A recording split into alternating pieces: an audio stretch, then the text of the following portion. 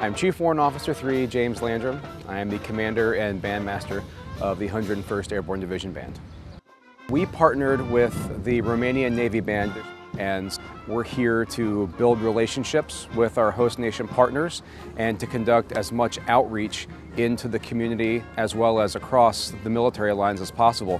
They already had a series of concerts planned for the 120th anniversary of Navy Day this year, and so they said, come on, partner with us. It is our great pleasure to be in your country and performing with the fantastic musicians of the Romanian Navy Band.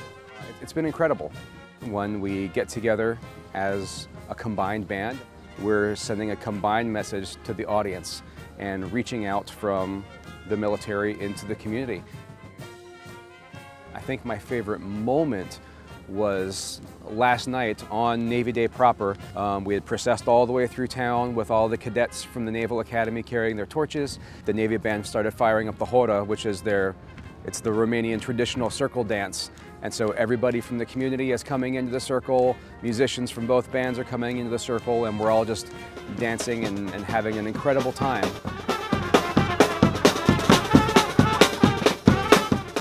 I've just, I've never been a part of something that's so uh, emotionally and, and, viscerally engaging in that way, being able to, to live that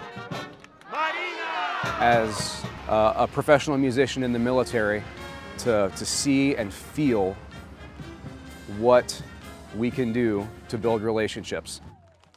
It means a lot.